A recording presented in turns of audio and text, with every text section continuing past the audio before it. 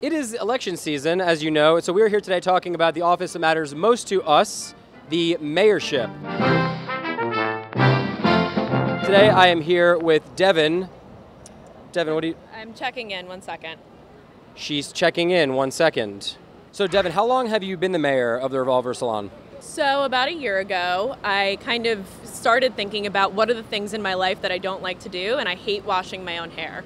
So, what I've decided is I'm just going to get a blowout every week.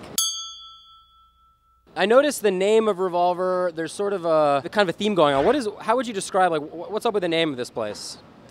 I think it's a Beatles reference in some capacity. I could be wrong. Huh. They wield some pretty serious equipment in there. Like, are they? Do you feel like they're adequately like licensed to, to, to manage that kind of equipment? Oh, yeah. I mean, they are amazing. And not only is everything super affordable, but the quality of the work is absolutely fantastic. Can we do a little speed round really quick? Yeah, for sure. Blonde or brunette? Blonde, Jheri curl or Japanese straightening? Japanese straightening. Scrunchy or barrette? Neither.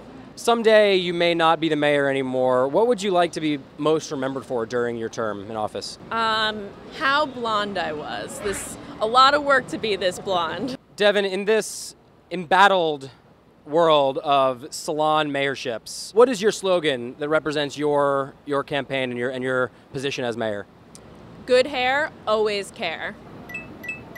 There we go.